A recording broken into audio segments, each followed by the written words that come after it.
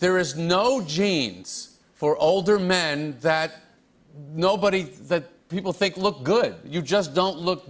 There's no jeans. There's nothing you can do. You think you reach a certain age? You reach an age where it's just bad. It's bad. You look bad. You, you should, shouldn't wear. Men shouldn't If- wear jeans. If you try and look cool, is that going to work? I, I don't know. No, it's not going to work. I know, but it, Do you want to? If you saw me in really cool jeans, you would think, "What an idiot," right? But if I'm wearing lame jeans, there's no answer to this. You can't wear. Now we're still wearing jeans, but we don't look good. I think I might.